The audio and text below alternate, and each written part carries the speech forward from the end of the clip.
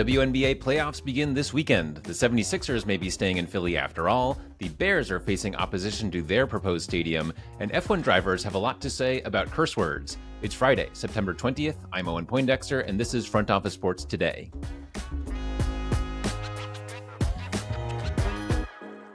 In today's episode, we have a great conversation about women's sports and how they're talked about and covered with ESPN's Monica McNutt. We're getting ready for the WNBA playoffs and looking back on a transformational year with the Ringer's Seerat Sohi. Plus, we'll look at the venue situations of some high profile teams and the NBA's city jerseys. First, here your top headlines. Philadelphia Mayor Cherelle Parker said she's throwing her support behind a new 76ers arena in Center City. Parker said that she struck a deal with the team to, quote, ensure that the Sixers are staying home in a video statement on Wednesday. While this is a big step toward keeping the 76ers in Philadelphia, Parker noted that the city council still has to approve the new arena. On Wednesday, when Adrian Wojnarowski announced his resignation from ESPN to be the GM of his alma mater, St. Bonaventure, a number of people made the joke that Woj beat Shams on this one. Woj and Shams Charania have competed for years to break NBA news before the other one, and Woj made sure he broke this one on his own terms. Sources told my colleague Mike McCarthy that Wojnarowski kept it under wraps even to ESPN executives that he was leaving until the day he announced it publicly. One ESPN source said he was floored, and another explained that, quote, Woj's worst nightmare would have been Shams breaking the news of his retirement. Gotham FC will become the first NWSL team to visit the White House after winning a championship when President Biden welcomes them on Monday. Gotham investor Carolyn Tisch Blodgett views this as a huge moment for not just her team, but the league, saying, We've now set the standard. This is the treatment our players deserve when they win a championship as the best athletes in the world. Saudi Arabia has announced a deal with Topgolf Callaway to bring the golf entertainment facilities to the country. Topgolf is set to debut in the country with locations in Jeddah, Riyadh, and the Eastern Province, with future expansion expected. The move further cements Saudi Arabia's growing interest in golf, and this time with a more bottom up approach. Real Madrid's goalkeeper, Thibaut Courtois, backed up Manchester City's Rodri on his talks of a potential player strike. Courtois said on Wednesday, Rodri is right. There are a lot of games. A fan wants to see the best, and we have to find a balance. There are too many games, and there are more injuries. With adjustments in the Champions League format, players of top teams have found themselves playing upwards of 70 games per season. The WNBA playoffs begin on Sunday, capping off a momentous year for the league. I spoke to the Ringer's Seerat Sohi on what this year meant how the new media deal will change the league, and how the WNBA has managed this hugely consequential period. That conversation's next.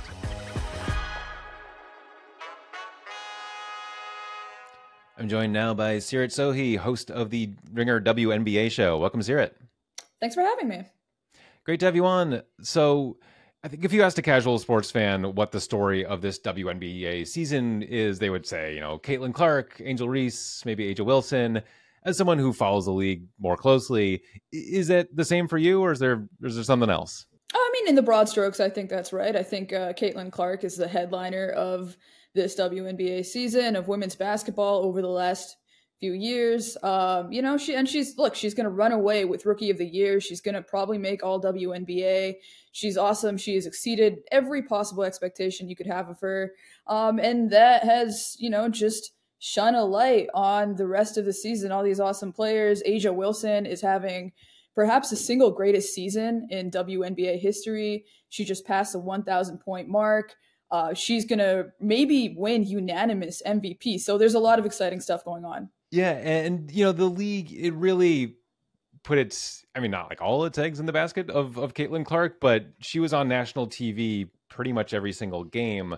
Um, I think they did a pretty good job of, you know, highlighting other stars too, but do you feel like they took the right approach with this this really transformational year? I think that's a really good question. Um, you know, I think early on the scheduling could have been better. Uh, obviously, playing 11 games in 20 days or whatever it was, uh, playing all those talented teams. I don't think that they could have possibly been prepared also for the sort of the culture war that ensued, especially early on in the season. Maybe they could have seen it coming just from everything that happened in the national title game with Angel Reese and Caitlin Clark. I do think that it was somewhat clunky, but I also don't know that growth on the exponential level that we've seen in the W this season is ever going to be smooth. I, I don't want to like make more of this than there is. Um, so you can tell me if there's not a whole lot here. But do you sense any resentment um, from other players? I mean, Angel Reese is kind of her like you know her her foil going back to the the college days. Um, but are there players who you get the sense of like you know we're here we're awesome too like we've we've been doing this a long time caitlin just showed up uh like not like necessarily against her specifically but uh but like why is all the attention on this one player when like we've been here the whole time? Yeah, it's it's a good question. I think in large part, uh, there is obviously on an individual level there are going to be players that have issues. Um, that's just people. They're they're athletes. They're very competitive. Everybody wants recognition. Uh, I, I think that on some level, the narrative that it's like a Caitlin versus everybody else thing has been overplayed. I think there's a few players that she's gotten into it with. But there's also been a lot of players who have welcomed her as well. And I think in some ways Caitlin has be has kind of it's she's kind of paying for the sins of the WNBA's past. When you look at how much how much they went out of their way to market uh, athletes like Sue Bird and Sabrina Ionescu over, you know, the A'ja Wilsons of the league. There has always been this focus on, you know, players who are white who can present as straight. It turns out we know now that Sue Bird was not was not straight. Um, but there was sort of this attempt to make to to draw more attention to certain players over others based on demographics, based on the, the, assumption of what people wanted to see. I think people want authenticity above anything else. And I think that Caitlin, obviously, she does fit that demographic bill. But at the same time, I think the reason she's getting all this attention is because of her play style. I think it's it's the logo threes and it's these passes that nobody has ever seen before in women's basketball. It's the the the fact that she wears everything on her face she's just like it's one of the greatest things about basketball. There's no masks right? So she fits perfectly into the sport because at every possible moment you know what she's feeling whether that's a positive or a negative right? Like there are times when she gets it in, gets into it with the refs and you do wish that she would dial it down a little bit. Uh, but overall it's just the emotion that she plays with is something that i think people are really captivated by. But at the same time, there is this larger context to how this league has operated that I think now there is there there are a lot of feelings that uh, that are that are coming out, I guess, or that have just been there for a long time. Yeah, I mean that that's interesting, and like obviously that's kind of in the background of all of this. Um, I have to wonder if you think, I mean, like A'ja Wilson being like a, a mega superstar helps, um, but has the the league kind of found its groove in terms of highlighting all of its stars. I think it's getting there. And I don't think it's just on the league. I think it's on the media. I think that there has been, on some level, of a failure of imagination when it comes to how to cover everybody who isn't Caitlin, because there frankly hasn't been a lot of attention on on the other players in the same way. Like for example, the Angel Reese versus Caitlin Clark Rookie of the Year debate, I think went on far too long. It was clear that Caitlin was a rookie of the year, but Angel, because I think we talk about sports in this very debatey way all the time, uh, because a lot of mainstream attention hasn't been on the W before. A lot of mainstream outlets really just focused on that to kind of create this rivalry that I think in the at the end actually did not serve Angel at all because she had a great rookie season. She broke rebounding records. She had a historic season in her own right, but to then try to compare it to what Caitlin's doing, which is generational, which is on the level of you know what Tiger Woods did for golf. It's just anybody is going to look bad in that in, in, that light, you know. And I'd also add, I th- I'd also add that I think that Nike could be doing a much better job with A'ja Wilson. Like just the fact that she has, they, they should have had a commercial prepared for when she broke the scoring record and when she broke one thousand. Like why why aren't we seeing any of that? So I do think everybody involved could be doing a better job of just you know bringing to light what makes everybody else also really fascinating because because they are yeah and you know the hope is i think that maybe you come for Caitlin Clark, but you stay because you get mm-hmm. invested, you know, whether it's in the fever or in other players, or, you know, you, you start to hear other narratives or you start to notice that, you know, other players are really good too. Um, but I, I think it's, you know, it's got to start somewhere, I guess. And for yeah. a lot of people, that is Caitlin Clark. Yeah. And, um, and she's, and she's a great entry point we've got this new massive media deal um, that's going to be, be starting next year. And um, how do you think? I mean, it's just a whole lot more money, basically, is the short answer. But mm-hmm. how do you think this is going to change the league?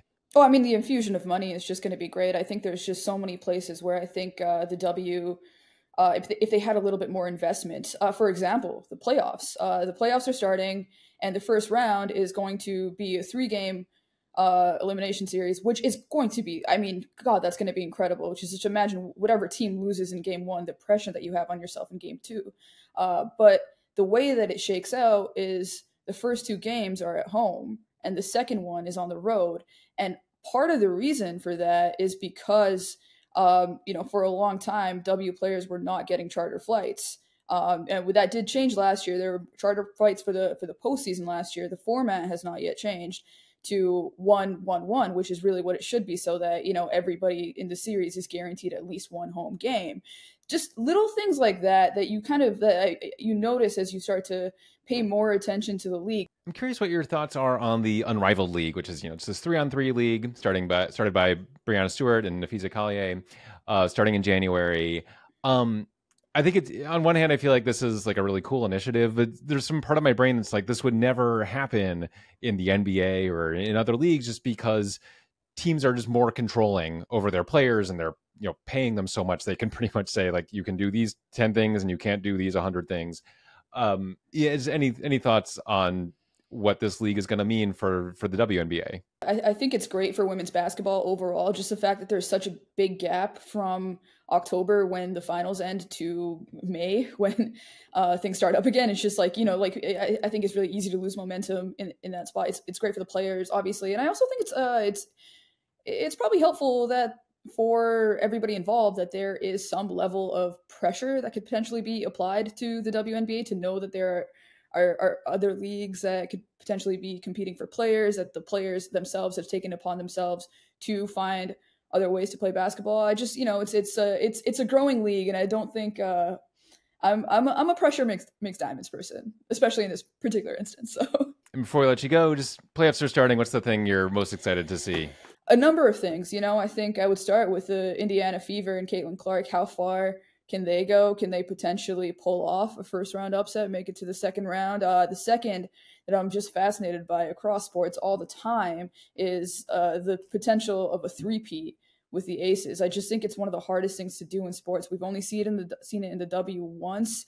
Uh, we haven't seen it in the NBA uh, since uh, the early 2000s with Kobe and Shaq. It really, honestly, and frankly, in other sports, it, pr- it practically doesn't even exist uh, just to have that level of sustained dominance. And I think it just speaks to, I mean, I think it speaks to A'ja Wilson's consistency, but I also think it speaks to her personality. I just think that if she wasn't such a, such a great leader um, and such a great person to be around that you know teams like that they break up you know they just do. Like you know if so with that much talent you want everybody starts wanting their own thing.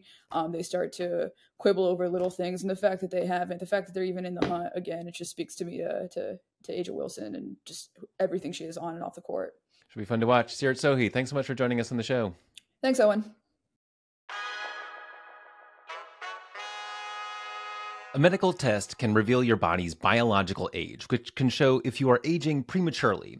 Better nutrition has been shown to reverse one's bioage. My hope of living longer and healthier is why I take Field of Greens. Field of Greens is an organic superfood fruit and vegetable drink unlike any other. It's serious nutrition. Listen to this. Field of Greens was approved for a university study that doctors believe may lower your body's biological age. That generally means better health. Each fruit and vegetable in Field of Greens was selected by doctors to support vital body functions like heart, liver, kidneys, metabolism, and immune system. Only Field of Greens is backed by this better health promise. At your next physical or checkup, your doctor will notice your improved health or your money back. Join me in better health with 15% off and free shipping. Visit fieldofgreens.com and use promo code FOS. That's promo code FOS at fieldofgreens.com. Fieldofgreens.com. The NBA's City Edition jerseys have been revealed. Most of them are just the city name or team name or nickname across the top, but a few of them differentiated themselves for better or worse. Here are my personal three worst and three best. First, the worst. My third worst is the Timberwolves. They tried to go for something that looked wintry and icy, but to me it looks sort of tacky and not like a basketball jersey. The Jazz went for a similar theme, but pulled it off a lot better. Second worst is the Pacers. Their jersey says Indy across the front in light blue, and it looks like they highlighted that and then pressed bold and italics and gave it some shading. And then on the side, there's a yellow spray paint spray. Finally, the Nets went with Brooklyn in jumbled letters that make it look like they're not so much a basketball team as a place where you can host a kid's birthday party.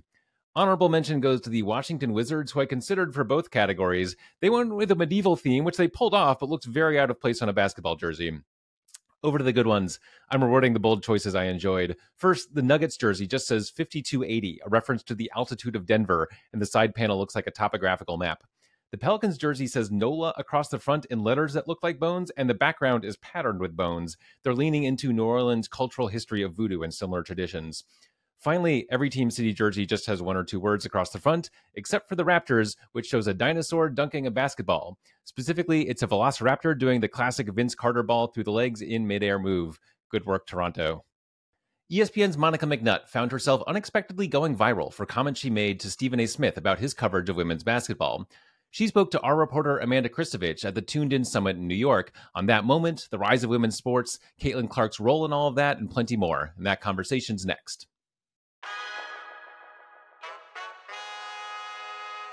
Oh, Welcome, Monica. Thank you so much for being here. Thank um, you. There are a lot of people who have teed you up already. Your, uh, your, ears must have been burning. Mm-hmm, a little bit. All right, well, we're going to start at the beginning. Mm-hmm. Um, We've been on this panel for about 30 seconds, and I'm already going to bring up the fact that we both went to Georgetown. Yes, indeed. Um, I did not play basketball at Georgetown, like you did, obviously. Um, but tell us about the journey that you had from Georgetown basketball to sort of your rise. Um, MSG Network, ESPN. Um, when I talk to other Georgetown alums in the media arena, they're always like, Monica's the star. Like she's our star.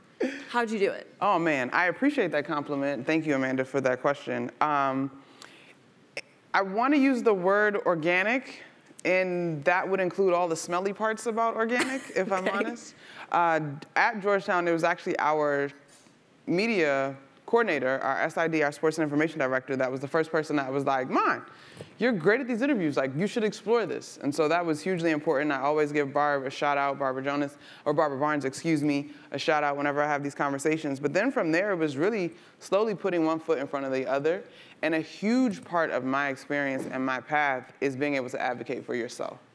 Um, from Georgetown, I was a kindergarten aide and substitute teacher for a year at a DC public charter school. I went on to the University of Maryland, where I got my graduate degree. But again, the University of Maryland opportunity comes about because I'm sitting at a table at a Washington Post event about a award ceremony for the All Met section, and I'm sitting across from George Solomon. And I'm like, hey, my career's over. I'm trying to figure out the next thing. And he goes, well, you should come check out our graduate program. Um, and so that turns out to be an important moment in my arc. From there, I land a job in community television in Prince George's County, again, at an NABJ event. Uh, hey, I want to be a sports anchor in DC.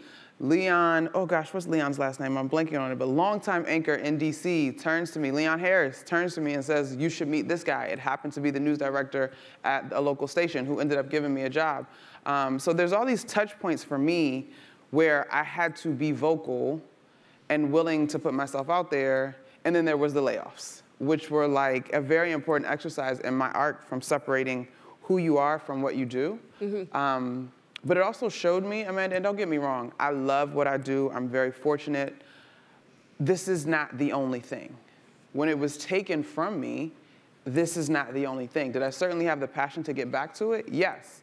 But there are other things that make me whole, and I think that's hugely important um, for all of us, but particularly as women. Anyway, Long story short, get back after those layoffs, and again, it is about advocating. It's, hey, I'm trying to get to ESPN. Hey, I'm trying to get to opportunities to call games in women's sports. Um, I can, I'm available, I'm interested. A ton of pitching, a ton of no's, mm. but you get a few yeses that matter. You get a phone call from uh, Pat Lowry at the time, who was in charge of women's college basketball at ESPN, mm-hmm. can you be available on Saturday and it's Wednesday? And the answer is yes. yes. Like you figure it out. Um, and then the dominoes started to fall. So it's been a combination of really advocating for myself, challenging myself, and being willing to wear different hats that has gotten me here.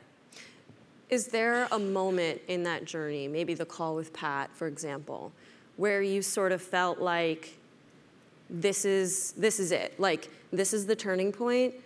This is where the momentum really starts? Uh, so I had been at ACC Network for two years. the was this in the pandemic or was this right out right before? Yeah, I think we're in Time's the a flat pandemic. Yeah, it's girl, such a flat circle. What is time? We're in the pandemic, and again, I want to clarify though. Yes, advocating for myself, but I've had tremendous support and people that are willing to advocate for me as well, and that's hugely important. But the college season ended. One of my good friends, Tori McMahon, is a producer at ESPN on SportsCenter. We had been talking about other opportunities at the company. She finally convinces um, some higher ups that I can handle doing SportsCenter hits at 7 a.m. talking NBA. Okay. And I remember thinking, oh, March Madness is over. Like, we're about to chill. It's about to slow down. I did one hit on NBA for SportsCenter at 7 a.m., and then it just seemed like everything took off from there, right? Um, and so I do very much remember that moment because it's true. You don't have to get ready if you stay ready, right? And, or like you need to be prepared in order to have success. Success, success happens when preparation meets opportunity. And while that was something simple, and 7 a.m. is not as much a part of my routine anymore, it truly was the moment that just kind of opened up eyes of folks at ESPN to this talent that had been on the roster. Um, and so it was very important. And you, I I feel like one of, you've had a few viral moments recently. One, we're going to get to the other one. But one of them was um, during the Knicks playoffs. You had like the camera next to you and you were, you know, calling the game. And it was like I think like two minutes left in the game, and you had so much like enthusiasm and like you know you were sort of like losing your mind, and then it came to be your second to speak, and you took this deep breath, and then you just like went into this extremely detailed analytical you know reaction to what had happened, bringing up different stats earlier, you know how do you maintain composure and like you said how do you get ready to stay ready um, you've got to trust your journey. And when I'm talking to young people, not even just young people, but my peers alike, you got to trust your journey and that each season has something for you. Way backstory on that one. I called South Carolina, UConn, women's basketball when the two were the fresh one and two ranked teams in the country. I did that for Fox before I got to ESPN, um, FS1 at the time, FS1 slash Fox. The game got tight late. It was a tremendous game. Down the stretch, I found myself enjoying the game, but kind of slipping out of my analyst hat, and I was just saying, wow, right? So my boyfriend, well now husband, and my dad brought this to my attention. And I'm like, but I said basketball things, and they were like, yeah, you did, but like you also said wow a lot, right? Okay. So fast forward to that moment, 40 seconds ago, this crazy ending for the Knicks. I, in my head, I was like, wow. And I think I put in the caption, like, I had to snap out of it and remember that in this moment, as much as your heart is into it, you have to give some context of what's going on, particularly in radio, where people may have just turned the radio on or can't see. And so, to some degree, developing composure is a byproduct of sometimes missteps and certainly your journey because I literally harken back to that moment like, hey, like you, you got to remember to give something that is additive and not just be a super fan.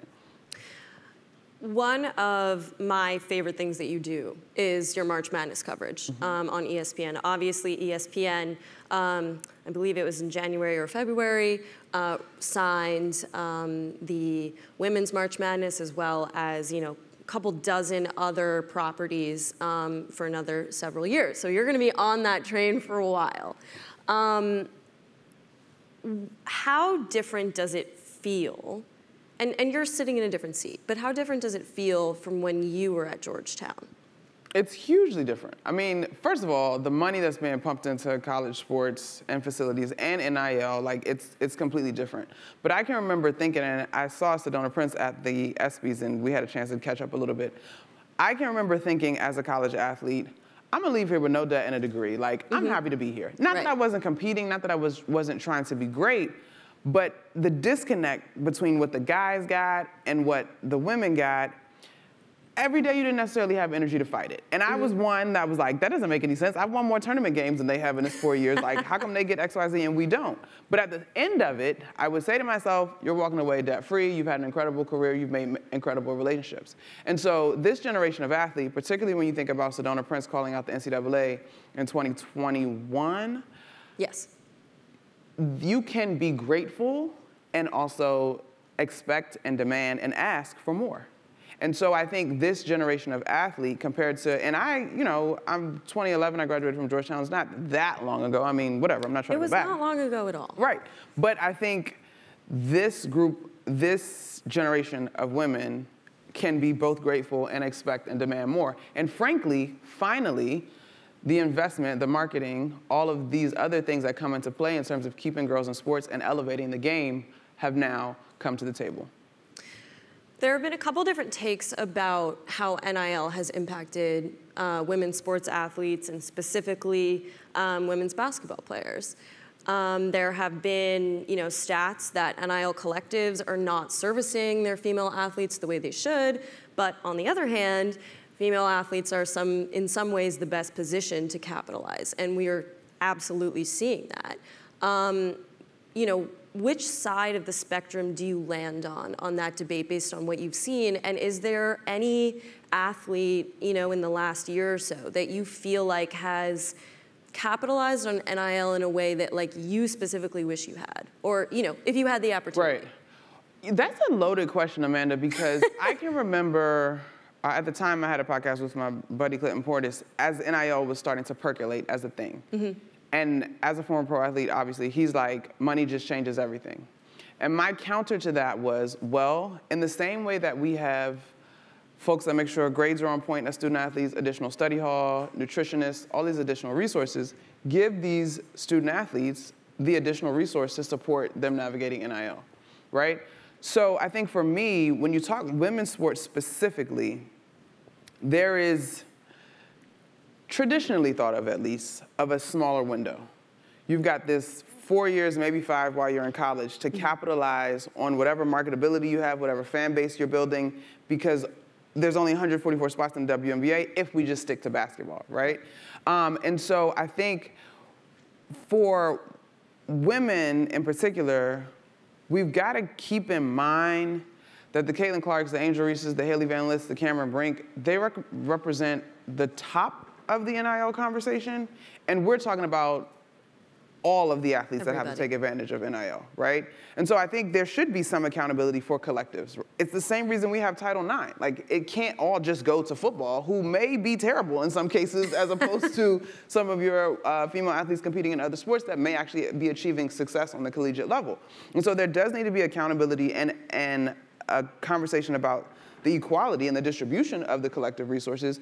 But I do think that it's a little bit of a different conversation for women athletes, partly because that loyalty there, now it's mainstream. Mm-hmm. But the folks that have loved women's sports, whether it be basketball, soccer, gymnastics, they are accustomed to following the sport to whatever ends of the earth they have to get to to watch and support. And that includes being able to make those meaningful connections with the athletes that they love. Do you feel like if we get to a place where college athletes are deemed employees or some iteration of that, obviously there are a lot of complications, different ways that this could go. What do you want to see for female athletes? Because a lot of people have said calling the athletes employees, um, you know, paying the football players, not playing the women, paying the women's basketball players, that's not going to be a good thing. Do you have a take on that? I- why is it not a good thing?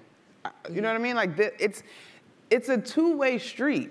They are not asking, or the conversation is not a, has not emerged about being paid mm-hmm. because they're just kicking it. Right. The athletes, as a collective, men and women, are bringing something to the institution that is valuable. I mean, two what two panels ago, Stephen? A, like value. Hello, we can all talk value. And so I think for me, the idea that institutions, colleges, and universities have not benefited off of free labor for years, like we can't even argue about that. That's a fact, right? And so Right. now to have the conversation about paying them, I'm here for it, frankly. Now, does it necessarily mean that it's going to be a negotiation that measures the amount of value that e- each individual brings?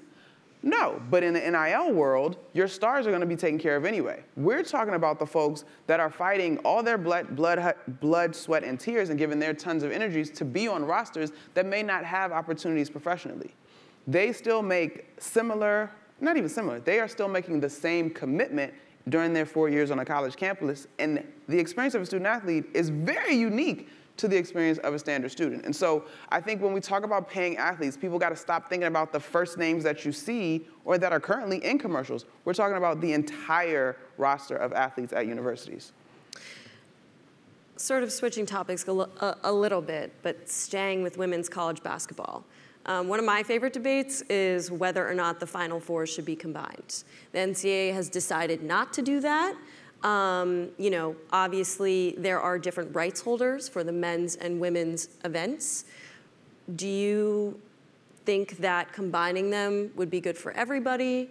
It's obviously this age-old question of, you know, does the women's sport have to, quote, ride the coattails of the men's sport? Should they be presented together like they are at the US Open, for example? Mm-hmm you know, or should they be split off so the women get their moment, you know, in the spotlight? I am not for combining the Final Fours. I, I don't, again, as we talked about earlier, the following of women's sports, for them to potentially be pushed out because this thing has become a mass event, that makes my heart hurt. Mm. There's so much loyalty there. Um, and now, again, with the investment, the advertising, the mainstream of it all, it's growing. I think this year, upcoming, is going to be a really pivotal year in the conversation around women's basketball and the NCAA tournament in particular. Mm. But I think you grow what you've already built. I don't think you necessarily have to merge the two. So I'm not for combining those. Gotcha. And when you say we are going, you know, this is going to be a pivotal year, what do you hope to see from ESPN specifically? I mean, there's been so much investment that they've put in. You know, they've done their own sort of version of the Manning cast, the Bird and Taurasi show, for example. Um, you know, what do you want to see more of? What, what ideas do you have about, you know, the network elevating its coverage to that next level? Well, I think the coverage of the tournament in of itself is standard, spectacular, like built in, especially once you get to March. I think we as a company have the opportunity to help build the enthusiasm to March, mm-hmm. right? Um, I'm thrilled at how much women's basketball has become a part of the mainstream conversation, the water cooler conversation.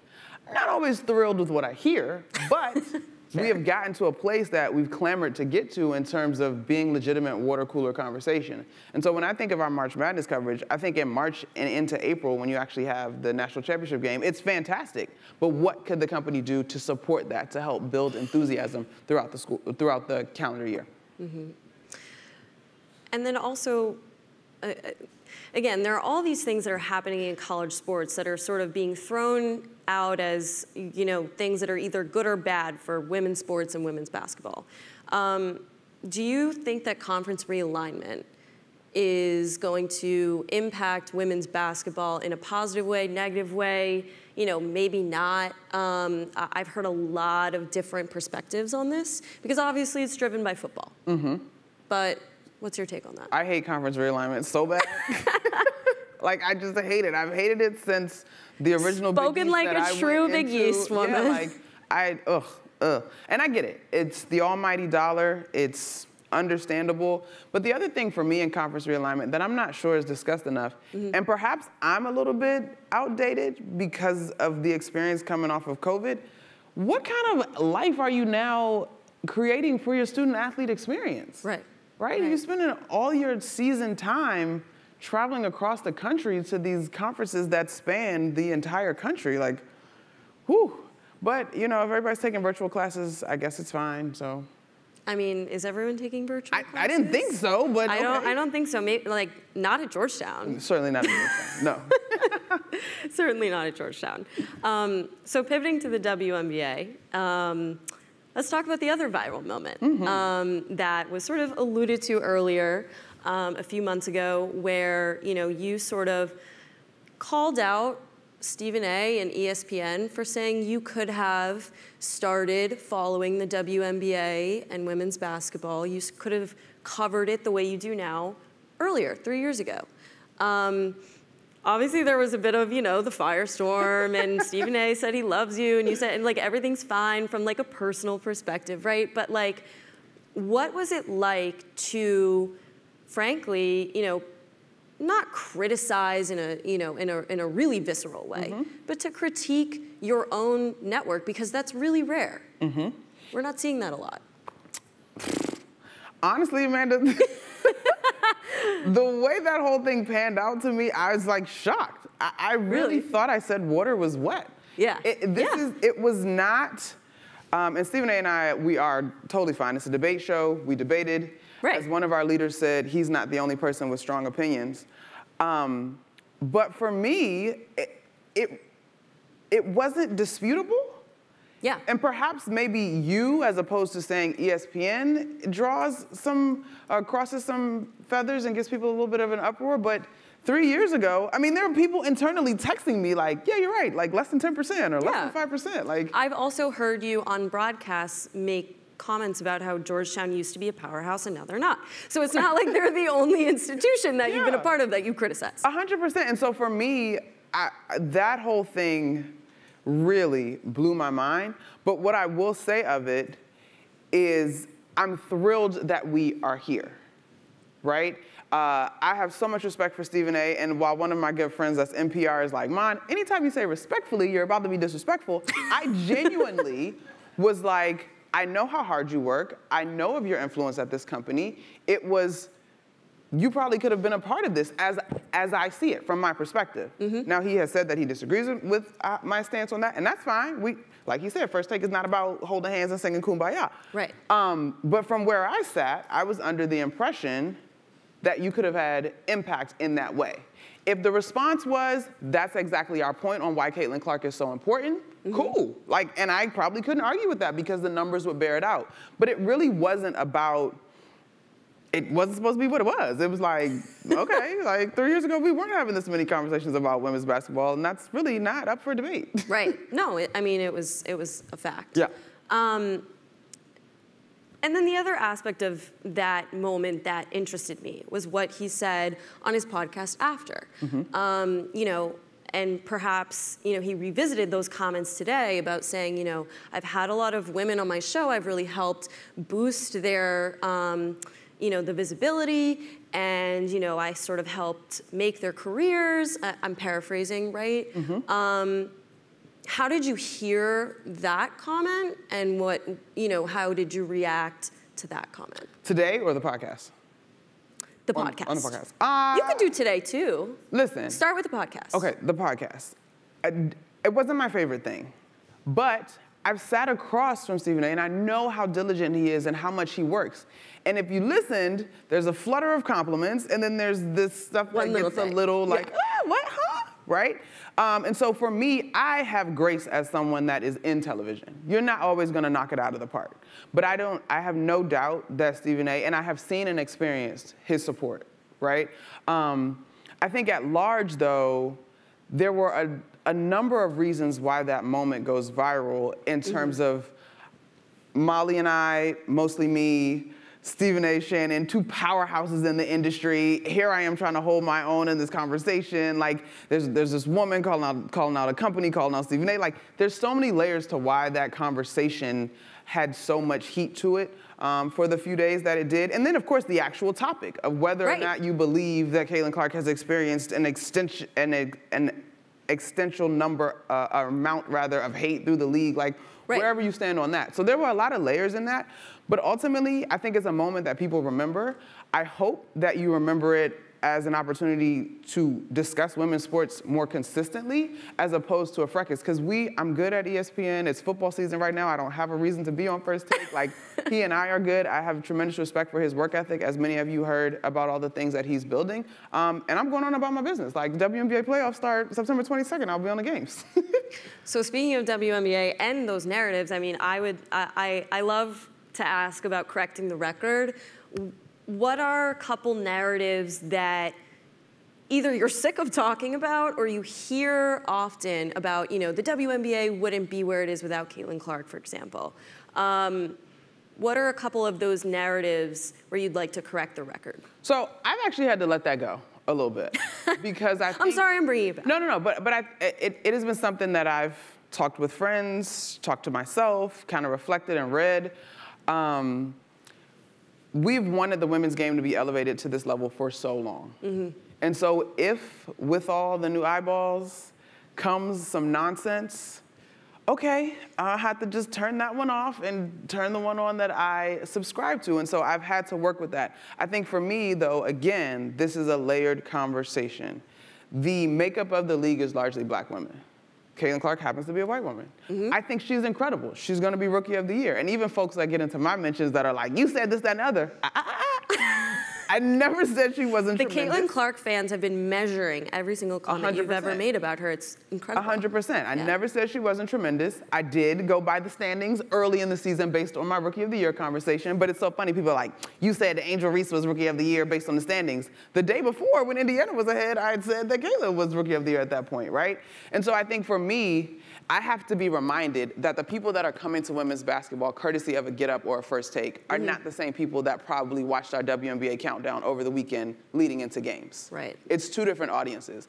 And so I have to go into doing my job well, being cool with how I present, um, the information that I'm presenting based in facts. Even if it's going to be an opinion, ultimately, let's start with a fact mm-hmm. and roll with it. And so, um, one of the more disappointing narratives that has emerged this season is the disrespect for Sheryl Swoopes. Mm. Um, that is very, very unfortunate. Yeah. Sheryl is a tremendous competitor, a winner, an Olympic champion, a four-time WNBA champion. She can say when a player is delightful and is incredible and has respect for that. But the other part too, and again, all these layers, we talked about Charles Barkley a bunch today. I have heard Charles Barkley hate on NBA players, right? Like, why is it that right. women sometimes are not given the grace or told how to be and how to do every little thing. And I don't want to, I'm not going to go all the way there, but like, I mean, you that can. part. Because that, that was a conversation at the ESPNW Summit about why is it that a little bit of hazing, let's say, or mm-hmm. you know, or you know, not letting the rookie just waltz in. Why is it that for the WNBA, that is you know a big controversy, whereas in any other men's league, that's expected. The idea that everybody laid out the red carpet for LeBron James when he got to the NBA, like I know for a fact that did not happen. You know what I mean? And so I think you can compete, you can do all the things that fall into the parameters of competition. It's physical, it's hip checks, it's maybe it's, it's funny looks, right? Like within the basketball game, of course, within the rules. Right. But like this idea that it has to be kumbaya, I just, and frankly, having watched Caitlin Clark's career, having watched her this season, she herself is a competitor. And so, it, that part of the conversation that women have to compete a certain way and it has to look a certain way has bothered me. And of course, I have tremendous respect for Sheryl Swoopes. She's one of the reasons that I fell in love with the game of basketball. The WNBA also signed a new media deal. That was part of the NBA media deal.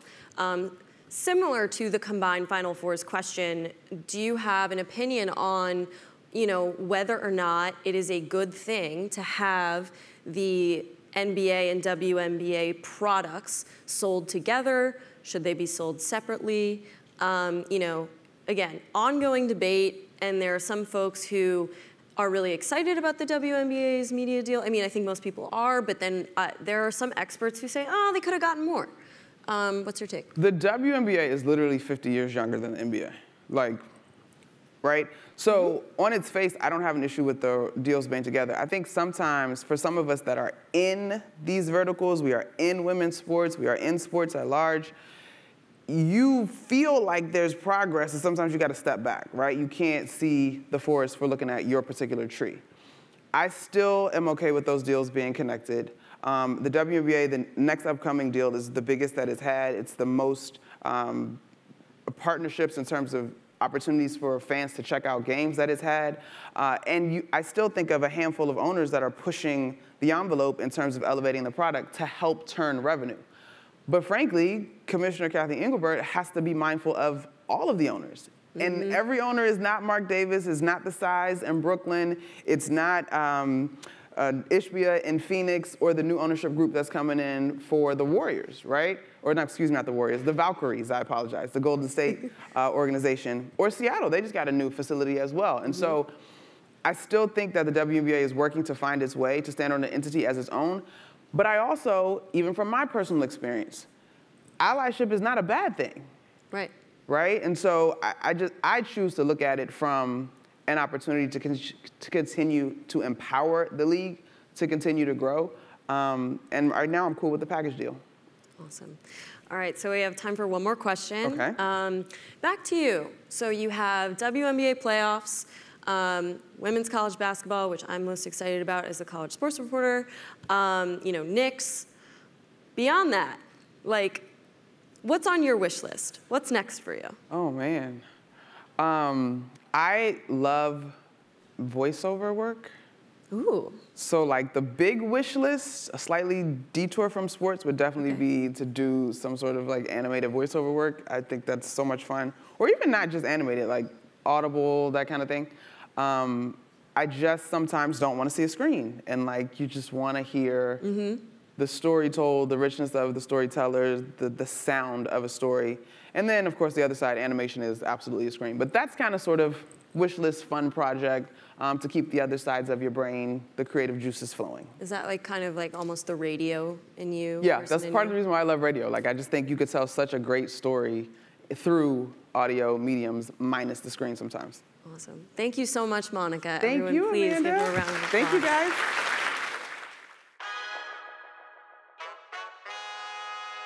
Some of the biggest names in Formula One are suddenly in a public conversation about curse words. One of the more fun things about F1 as a television sport is that you get occasional snippets of audio from drivers communicating to their teams.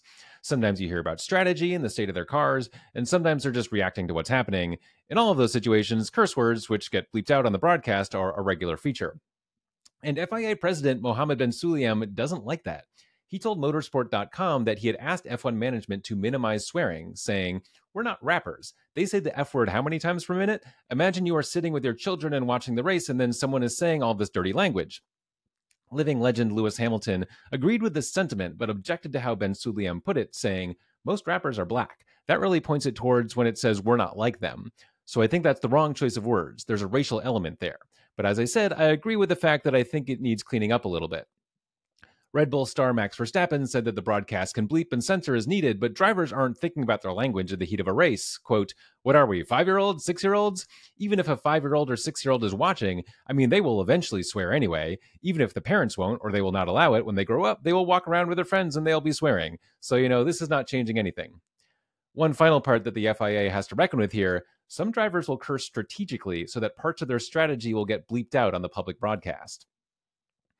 Over to the NFL, the Chicago Bears stadium plans were already receiving skepticism from the highest levels in Illinois. Now they're getting resistance at the local level as well. The group Friends of the Parks pushed back on the team's plans to build a $5 billion stadium and surrounding development in downtown Chicago. The group's executive director, Gin Kilgore, stated, quote, While we would love for the Chicago Bears to stay in the city, we object to the site they have selected and the ultimate cost to city residents. Illinois Governor J.B. Pritzker has also stuck to his stance that he doesn't want to provide public funding for a new stadium. We want Illinois businesses to do to do well, said the governor. This is a privately owned business. If I can find some way to assist, great. But right now, there is no building any new stadiums. The Bears aren't leaving the Chicago area, and we might just be seeing what happens when a state simply says no to a team that wants a massive assist from the public. As the WNBA regular season came to a close, Ion announced that their viewership from this season more than doubled last year, up to 23.7 million. You can attribute this to the Caitlin Clark phenomenon, of course, but as we talked about in our interviews with Seerat Sohi and Monica McNutt, there is so much more going in the WNBA's favor. A'ja Wilson had one of the best regular season performances in the league's history. Angel Reese had a record setting rookie year of her own, and a game between the Connecticut Sun and LA Sparks sold out TD Garden last month. So, as we head into the WNBA postseason that is likely to break its own records, it's worth acknowledging everything the league has accomplished this year. With this boost in popularity, the WNBA is primed to get into a positive cycle with the college game, where interest in one stokes interest in the other.